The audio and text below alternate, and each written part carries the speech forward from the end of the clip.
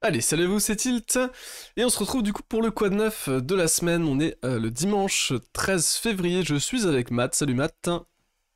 Salut Tilt, salut à tous. Alors, euh, toujours, ce lexique qui sera disponible au sein de la description pour les nouveaux, pour les débutants, hein, ceux qui, euh, voilà, qui, qui, ont quelques problèmes au niveau des, du langage qui pourrait être utilisé au cours de la vidéo, n'hésitez pas à checker ça là-dessus. Qui sera disponible au sein de la description, ainsi que du coup une documentation ici avec voilà, les éléments, euh, la notion élémentaire en tout cas pour aborder la stratégie de trading, les indicateurs qui sont utilisés au cours des vidéos. Vous retrouverez aussi le lexique, un petit, un petit guide sur TD9, etc. Donc n'hésitez pas à checker tout ça, euh, ça risque de vous intéresser. Et on va démarrer, je pense, par l'analyse euh, bah, du Bitcoin. Pour une fois, je vais, bah, je vais commencer. je vais commencer, donc on a... alors, on a ici euh, le Bitcoin d'un point de vue, donc 3 jours hein, pour le coup, je vais juste passer en hebdo, en hebdo, voilà, pour l'instant c'est pas extraordinaire la bougie qu'on est en train de faire, c'est une bougie de, de ravalement, hein, entre guillemets, pour l'instant on laisse une mèche, euh, on laisse une mèche haute, euh, mais, mais, mais, mais, mais, mais, mais, tout de même on verra après, je pense que c'est peut-être pas terminé, on va dire, pour cette petite, pour cette petite hausse, on a, voilà, donc là d'un point de vue 3 jours, on, est, on a bien rebondi sur le POC finalement, en tout cas sur, euh, sur Bitstamp.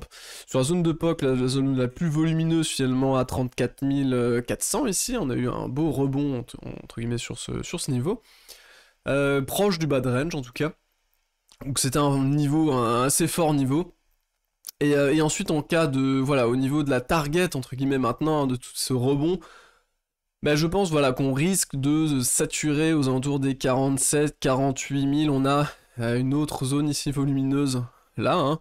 une zone centrale finalement, une zone médiane de range, le mid-range en fait, hein, qui correspond au mid-range hein, d'un point de vue euh, chartiste, et on a aussi euh, euh, le, le, pain pivot finalement annuel, et aussi le Vegas Daily qui va se retrouver en sandwich finalement sur ce niveau, donc voilà, ça fait quand même quasiment 4, 4, niveaux à passer. D'un coup, on a les 0,5 de retracement aussi qui sont pas très très loin en linéaire, donc ça fait quand même beaucoup de niveaux à passer.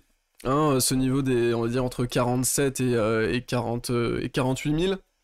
On a vraiment toute une zone ici qui risque d'être... Euh, de servir de pivot en fait de prix. Comme vous le voyez ici, hein, ça sert très souvent soit de support hein, ici, soit voilà de zone où on tergiverse ici, support ici, et pourquoi pas maintenant résistance. Donc c'est vraiment un niveau qui est très euh, très puissant en fait, ce niveau ce niveau de mid-range. Donc voilà, je parierai pas sur le fait qu'on va la break euh, d'un coup, d'un coup sec tout de suite.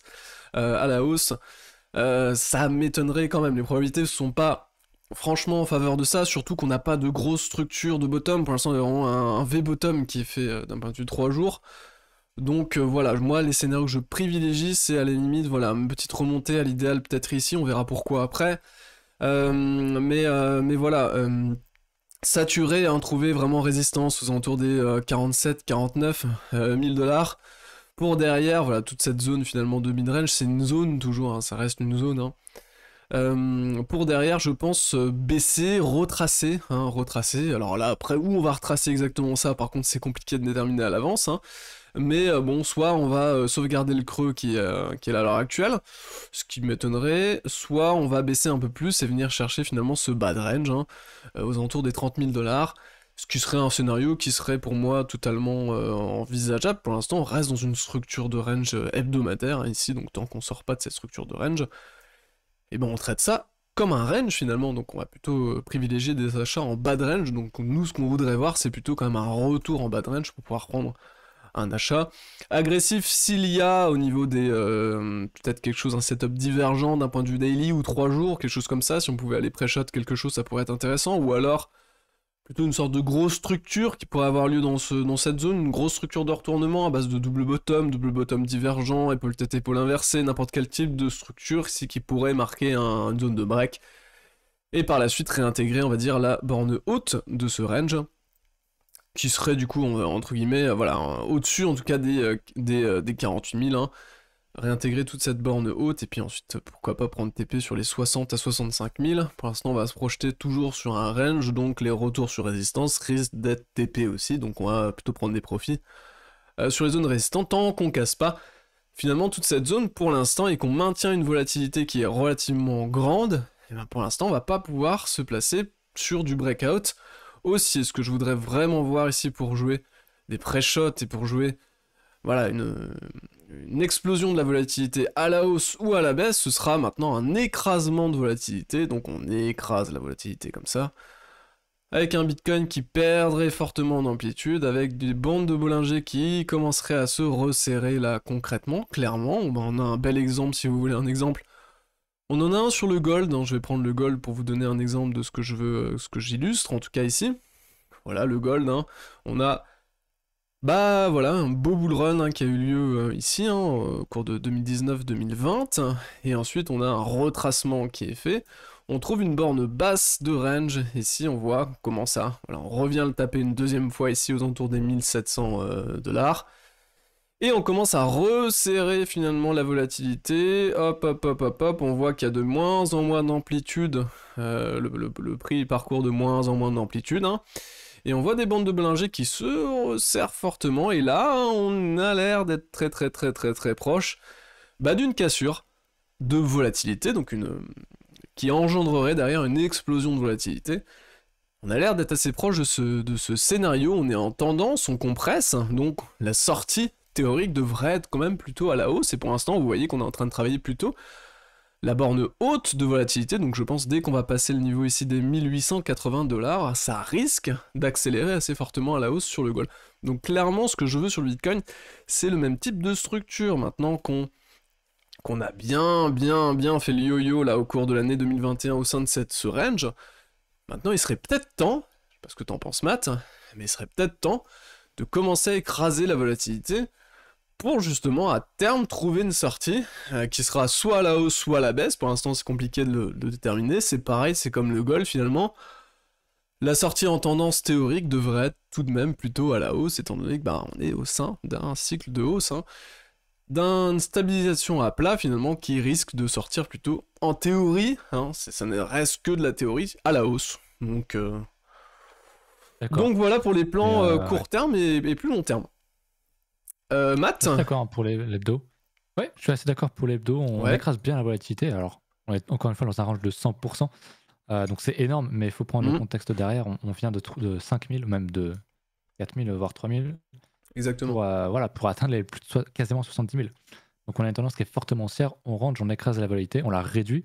Ce qui veut pas dire qu'elle est nulle. Rien à voir avec la volatilité quand on était en 2018, hein, où il y a des journées où Bitcoin variait moins que le, l'US dollar euh, ouais. Ouais, ça c'était la, la vanne à l'époque. Donc rien à voir. Mais on est dans une tendance de fond qui est fortement haussière. On a un range qui euh, s'apparente à un range horizontal. Vous savez qu'on aime beaucoup. Donc euh, s'il casse à la hausse, ce serait vraiment très très très très très positif pour la suite. Mais il faut un vrai, une vraie cassure avec du volume, etc. Et là, on va pouvoir taper des, des extensions de, de, target les 140 000 dont on avait parlé, etc. c'est les niveaux qu'on recherche. Donc voilà. Moi, je vais juste revenir vite fait sur le daily. Oui. Euh, T'es bien sur mon écran Ah là, je ne suis pas sur ton écran, par contre, je vais devoir passer dessus. C'est bon. Du coup, ouais, voilà, on, a buté sur le 38.2 hein, du, retracement daily. C'était une bonne zone, trop liquidité. Il y avait, euh, il y avait de quoi prendre en, profit. on a aussi une, euh, une divergence baissière cachée, j'en avais parlé la dernière fois. Donc pour moi, il y avait des, profits qui ont été pris ici. Je pense que j'espère que vous en avez pris un petit peu. Peu importe où vous êtes rentré, ça fait toujours bien de prendre un petit peu de profit et de pouvoir rentrer plus bas ou juste d'attendre. Et, voilà. Donc moi, ce que j'aimerais voir ici, c'est qu'on vienne retravailler cette résistance, euh, qu'on vienne rechercher ce niveau-là ou qu'on retravaille ici, qu'on fasse ça. Euh, là, pour moi, un achat pourrait être possible si on casse ce niveau-là pour aller chercher, pourquoi pas, le, 50 ou le 61 points, les, les, prochains niveaux.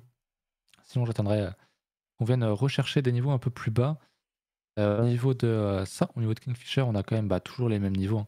C'est des niveaux qui sont un peu plus isolés. Sur du très court terme, on pourrait revenir à 43 000. Mais honnêtement, pour moi, c'est. Voilà, on voit qu'il y a quand même. Les gens sont quand même très très acheteurs. On a toujours les mêmes niveaux qui sont là. Ils sont de plus en plus gros parce qu'en face, il n'y a rien. Donc forcément, ça paraît plus gros. Mais je reste toujours, euh, toujours neutre avec un, fond haussier. Parce que voilà, on n'en a pas encore parlé, mais les fundings sont plats, voire un petit peu négatifs. Donc c'est bien, c'est cool, mais euh, j'aurais préféré qu'il y en ait vraiment plus, qu'on ait une grosse structure comme ça. Ne veut pas dire qu'on doit absolument avoir une structure comme ça, avec des fundings autant négatifs pour, euh, pour remonter derrière. Mais ce serait quand même bien vu dans un range, dans un bad range, de voir un petit peu la, dépression arriver. Ce qui n'est pas entièrement le cas. mais encore une fois, c'est pas forcément obligatoire. Il n'y a plus de liquidation depuis tellement de temps. Donc pour moi, il y, a vraiment un, gros désintérêt hein, du marché depuis bah, même quand on était remonté ici, il n'y avait pas, avait pas grand chose finalement. Donc il faut laisser ça construire. On l'a dit, hein, un range, c'est avant tout bah, un combat hein, contre l'ennui. Mmh. Et on veut désintéresser les gens. Et c'est ce qui est en train d'arriver. Donc ouais, qu'on casse à la baisse, ou qu'on casse à la hausse violemment avec, avec envie. On devrait voir des choses bouger sérieusement sur le funding, sur l'open interest, sur le volume, etc. etc. J'en ai pas parlé du volume, mais ouais, on l'avait déjà dit aussi. Il n'y a plus de volume depuis, depuis très longtemps en fait. On voit hein, le dernier gros pic de volume, c'était là. Mmh. Et après, il se passe plus rien. Donc, signe d'un range, tout simplement. Pour ceux qui auraient encore un doute, voilà. Pas grand chose d'autre à dire pour moi sur BTC. faut, faut être, faut mettre les choses dans l'ordre, savoir pourquoi vous êtes là. Si vous faites du court terme, bah faites du court terme. Si vous êtes sur du long terme, on parle souvent de, tracer une, box quand, quand tu es dans un range. C'est vrai. Et ça, en gros, et tu te mets en, noir. Alors, je retrouve pas mon truc, mais, euh, mais tu te mets en noir comme ça. Hop. Et tant que tu vois pas le cours, tu fais rien. Et en gros, c'est ça, quoi. Il se passe absolument rien depuis, euh, depuis très longtemps. Donc, il faut être, euh, faut être patient. C'est exactement ça. En fait, on pourrait limiter ça. On pourrait limiter ça à une. On pourrait mettre une box comme ça, toute noire, effectivement, avec Sonic sur la hausse, Sonic sur la baisse, qui pourrait signifier un, un, mouvement important, ou, ou alors euh, et, aussi mettre en complément peut-être euh, une alerte sur, euh, sur des bornes de volatilité, quand on est à la hausse ou à la baisse à la limite. Donc si un jour voilà, vous, voyez une, une, alarme se déclencher sur les Bollinger ou quelque chose comme ça, n'importe quel type d'indicateur qui va vous permettre en tout cas de, détecter des mouvements potentiels de, de forte explosion de volatilité, suite à des réductions de, volatilité, et eh ben voilà, vous regardez simplement à travers ce...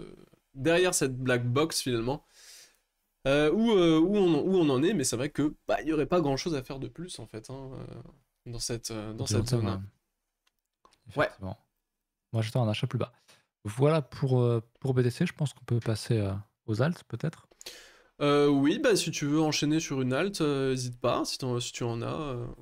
Alors je bah, j'ai juste parlé de d'Ethereum, de la dominance, comme d'habitude. Je vais retrouver mon chart. Hop, Ethereum USDT. On va le regarder en daily, parfait. Pareil, on l'a buté sur le 50%. Donc pareil, j'aimerais vraiment, vraiment voir qu'on reprenne une dynamique haussière, donc on casse ce haut-là, ce haut-là qui est plus bas du coup, et qu'on construise, parce que là vraiment, on, a, on a la divergence baissière cachée, exactement comme sur BTC. Hmm. Donc euh, voilà, il faudrait, que sans doute qu'on reconstruise quelque chose pour repartir derrière. Donc je serais pas étonné qu'on vienne rechercher des niveaux un peu plus bas, euh, que ce soit sur Ethereum ou sur BTC ou sur un peu tout en fait. Hmm. Pour peut-être mieux construire, mais sur un plan plus large. Euh, bah pareil, hein, vous savez, on a ce creux là.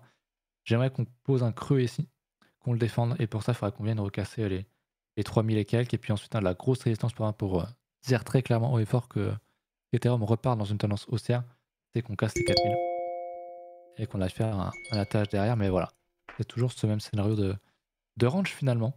Donc euh, voilà, pas grand chose à dire là-dessus, pareil hein, sur, sur ETH BTC, où le niveau est un peu plus propre, je trouve, un peu plus clair. Voilà, quand on cassera cette grosse résistance qui, a fait office de, bah, de résistance, plus de support, plus de résistance, euh, on, sera, on sera bien. Mais pour l'instant, bah, pas grand chose. Hein. Généralement, quand on fait 4 un niveau comme ça, on vient souvent rechercher le, bad range à minima, le mid range, ce qu'on a fait ici. Donc je serais pas étonné que sur, euh, cette paire-là, on vienne, euh, vienne d'aller un peu plus bas potentiellement. Mais ce que je surveille, c'est la cassure de ce niveau-là et de ce niveau-là. Ce qu'il y a entre, bah, en vrai, on s'en fout, tout simplement. Voilà pour ça, niveau dominance. On va regarder ça. Je crois que la dominance euh, stagne toujours dans le, nuage. Elle repère, ça fait un léger plus haut dans le, Vegas Daily. Donc c'est cool, écoutez, pareil, on a toujours un gros range qui sont matérialisés par les burns euh, orange ici. Que j'attendrai qu'on casse à la hausse ou à la baisse pour, euh, bah, pour dire un petit peu comment, comment on pourrait approcher la suite des choses sur BTC et sur les alts. Mais en l'état, bah, c'est pareil, c'est un range qui est très volatile. Mais ça arrange parce qu'on vient dans une tendance qui est extrêmement forte derrière. Et puis, plus, avec un peu plus de, d'horizon de temps, ben, on voit très bien que voilà, ça a l'air d'être baissier, comme BTC serait haussier dans ce, en hebdomadaire dans ce range en tendance. Et assez logiquement, on a la même chose en inversé sur la dominance. Donc je pense qu'il faut être, faut être patient, encore une fois. Ça ça va pas venir tout seul. Mais on est en train de faire une divergence baissière. Voilà. Si ça peut en rassurer certains. Mais pour moi, ça suffirait pas. Voilà. Voilà, voilà pour moi. Je te laisse l'antenne. Ça toutes les. Alors, au niveau des altcoins, qu'est-ce que j'ai? Euh, J'ai pas grand-chose au niveau des altcoins, j'aimerais bien juste compléter l'analyse du Bitcoin, j'avais pas terminé, euh, j'avais pas tout à fait terminé ce- ça, et puis, euh, et puis plus, plus globalement aussi. Au niveau de l'order flow, donc là on est au niveau des walls hein, qui, sont, qui sont au niveau, donc là c'est les gros walls, je filtre seulement au niveau des très très gros ordres hein, sur, les, sur différents exchanges. Euh, donc euh, voilà, on avait ce wall qui avait été euh, mis en place ici, donc là on est sur Coinbase qui pour l'instant bah les creux, ils ont pas ce qui est un peu gênant entre guillemets, c'est que pour l'instant ils ne bon ils, lâchent pas leur wall donc ça c'est plutôt bien, par contre il n'y a pas de front run, donc pour l'instant il n'y a pas de c'est-à-dire qu'ils ne, ils ne relèvent pas leur wall pour maintenir une pression à l'achat. Donc pour l'instant, il y a quand même, voilà, les walls sont à 30 000, là on est à 42 000, donc il, laisse, il reste quand même un certain... euh, y a- on, peut, chuter sans problème assez facilement, il n'y a pas de pression en tout cas qui est mise. Euh, Il n'y a pas de pression acheteuse en tout cas sur les walls sur euh, Coinbase qui est mise en place pour l'instant. On a pareil la même chose sur Bitstamp, pas de pression, il n'y a pas de, y toujours pas de front run au niveau des walls ici qui était euh, pareil en place au niveau des 30 000, hein, qui permettrait de mettre une pression à l'achat. Donc pareil, pas de pression à l'achat. Euh, par contre sur euh, sur Binance là ils ont retiré leur wall hein, eux. hein. Ils avaient juste mis ça en place euh, sur le bottom local pour l'instant. Par contre ils les ont retirés.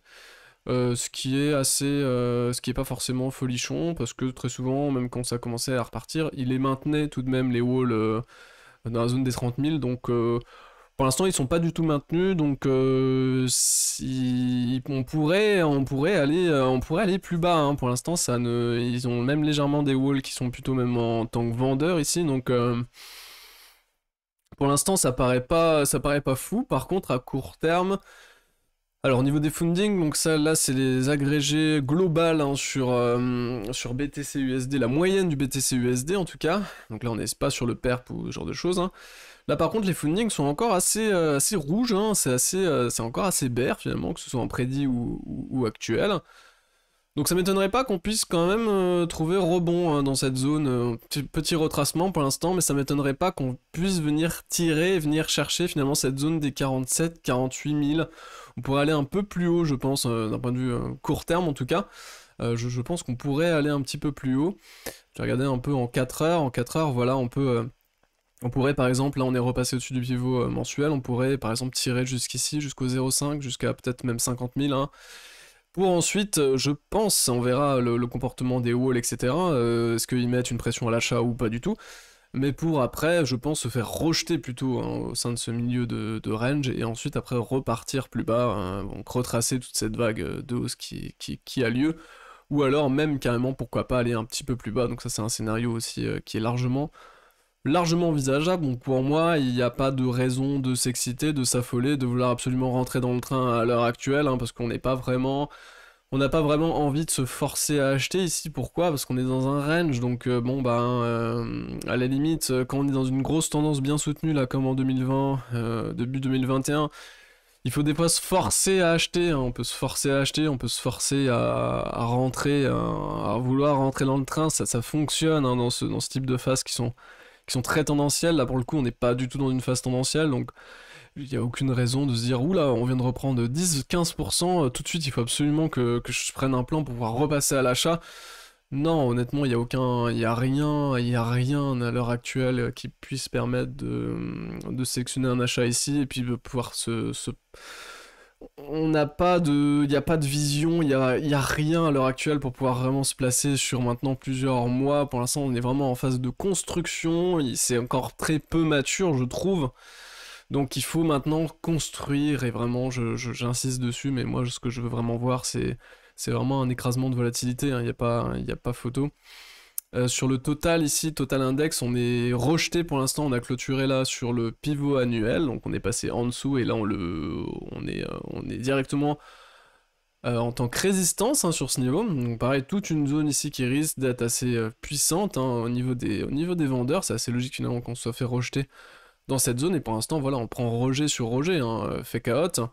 On reprend, on se fait rejeter sur, euh, sur ce niveau là on rebaisse, on se fait rejeter de nouveau peut-être ici sur le pivot annuel, donc pour l'instant, il n'y a pas de raison de s'énerver euh, et, de, vouloir repasser à l'achat euh, massivement, je trouve, moi perso, sur la, crypto. Rappelez-vous de ce, de ce gap dont j'avais parlé sur le CME. c'était à 33 000. J'en avais parlé, euh, on était très haut, on était euh, quasiment à 62 000, je crois. Euh, et, et rappelez-vous, j'avais dit qu'il y avait ce gap et qu'on pouvait venir le chercher. Pourquoi? Parce qu'on était potentiellement dans une structure de range. Et du coup, c'était pas forcément indécent de venir le rechercher.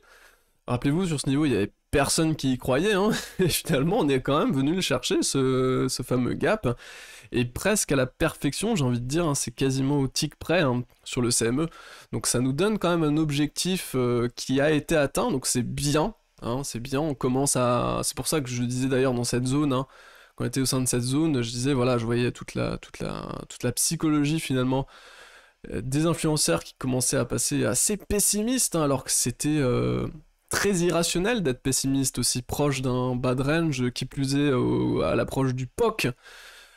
Euh, de toute la zone de range et je voyais des gens qui étaient en dépression hein, donc c'est pour ça que je disais attention aux influenceurs pas vous laisser entraîner par les sentiments et euh, les, les, euh, les, réactions à chaud des influenceurs crypto français ou, ou, tout ça attention à ça hein.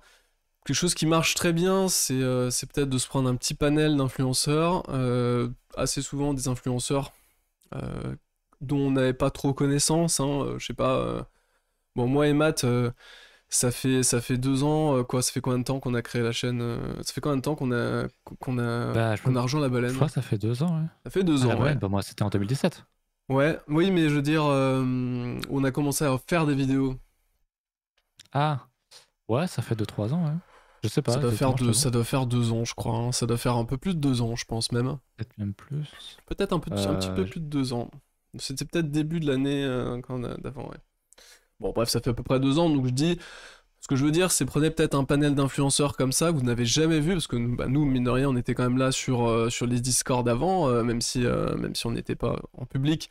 Bah, on était sur la baleine, on était, sur différents réseaux. Euh, essayez de prendre un, petit panel d'influenceurs qui sont relativement récents, hein, je pense 1, 2, 1 à 3 ans on va dire.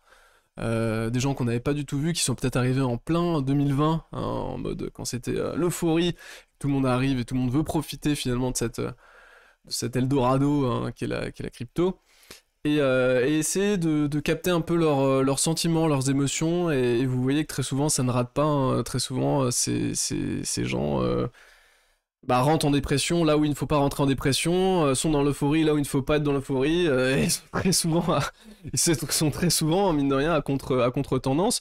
Donc ça peut être euh, un petit indicateur psychologique de se faire un petit panel comme ça d'influenceurs français ou n'importe ou, anglais, hein, ou anglophone en tout cas. Euh, qui, euh, le but n'est pas ici de donner de nom, euh, je ne veux absolument pas jeter la pierre sur n'importe qui, c'est pas du tout le, but ici, mais juste voilà, prendre un petit panel d'influenceurs relativement nouveaux. Et, parce que c'est très bien, ces influenceurs-là, finalement, c'est une représentation individuelle, c'est un exemple individuel de représentation collective, finalement, de, de psychologie de foule, finalement, où ces gens-là, très souvent, ont très peu d'expérience, ont cherché à profiter de cet engouement, euh, et ont, je trouve, c'est ce que j'avais dit euh, d'ailleurs quand on était, c'était le 19 euh, janvier, etc., jusqu'au 22 janvier, je disais attention à pas vous laisser entraîner par ces gens qui, honnêtement, n'ont quasiment aucune expérience et qui sont en train de rentrer en dépression, de commencer à avoir euh, des discours du genre oh ça pue, c'est pas un argument, hein, euh, ce que je sache, euh, ça pue, oui, bon ça pue, d'accord, très bien, mais argumente, dis-nous pourquoi ça pue, dis-nous pourquoi tu cherches à vendre sur ces niveaux alors qu'on s'approche de niveaux de borne basse, il n'y a aucune raison techniquement de vouloir chercher à vendre, mais voilà donc c'est très intéressant je trouve d'avoir ce petit panel en tout cas hein, d'influenceurs et parce que ça peut permettre d'avoir une représentation finalement de la psychologie de foule des souvent des, amateurs en fait des débutants des gens qui se font euh, très souvent avoir par les market makers et qui vendent au pire moment et qui achètent aussi au pire moment. Donc euh, donc euh, voilà. Voilà c'était tout c'était un petit tips pour pour la psychologie. ceux qui sont là que depuis que, que ça monte comment comment est-ce qu'on ouais. c'est un peu ça. c'est un peu l'idée ouais. Exact. Qui ont voulu juste profiter ce qui, ce qui ne sont pour le coup que des opportunistes en fait. Hein. Et très souvent, eux, euh, quand, quand, le, quand, quand ils n'ont plus de communauté et que quand leur communauté ne les suit plus, bah, finalement, euh, qui, qui- sont plus payés avec le référent, le genre de choses, bah, très souvent, c'est des gens qui disparaissent euh, au bout de 1, 2 ans. euh, très souvent, après, c'est des gens qui disparaissent. Ils, ils sont là, et puis après, ils partent. Puis ils partent saisir une autre opportunité ailleurs, hein, dans d'autres secteurs, dans d'autres Mm. choses. Euh, 2017, hein. Il y a on l'a vu ont disparu. exactement, on l'a vu. Tout le monde a disparu en Jusqu'à 2018 2020-21, quoi. jusqu'à Ouais. 2020, 21, et après ça revient, et c'est perpétuellement comme ça. C'est perpétuellement comme ça. Euh, donc euh, voilà, écoutez, euh, c'est à peu près tout ce que je voulais dire euh, là-dessus. Hum, Ethereum, tu en as parlé, j'ai pas grand-chose à dire de plus euh, là-dessus. Au niveau des fundings, j'en ai parlé aussi, je ne sais plus.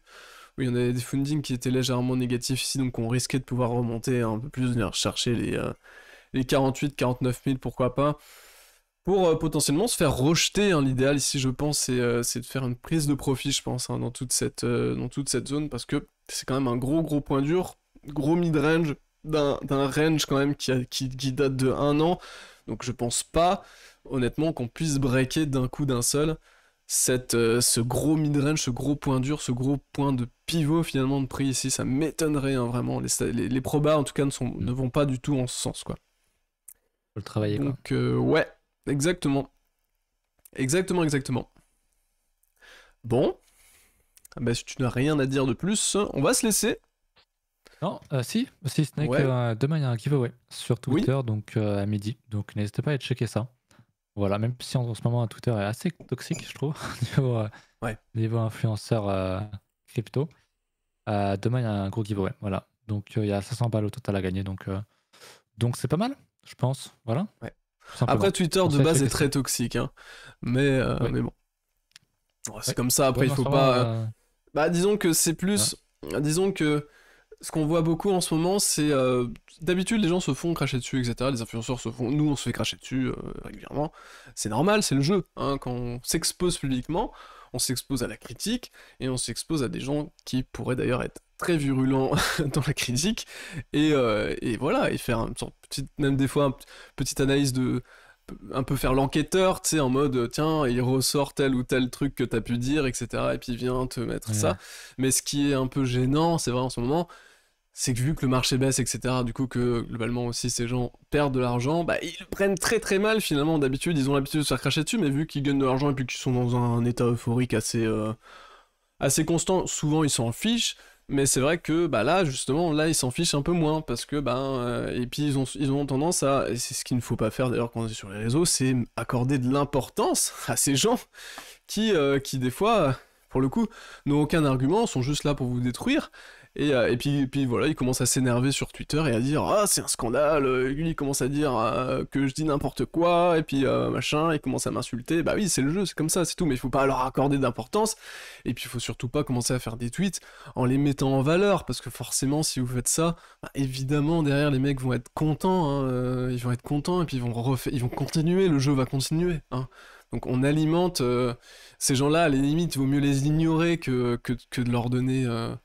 Du crédit justement en, euh, en en parlant publiquement. Ça, c'est c'est quelque chose, c'est une base qu'il ne faut pas faire. Enfin, c'est c'est quelque chose d'assez euh, assez logique finalement. Ils cherchent à s'occuper euh, quand le marché baisse, quoi. C'est ça.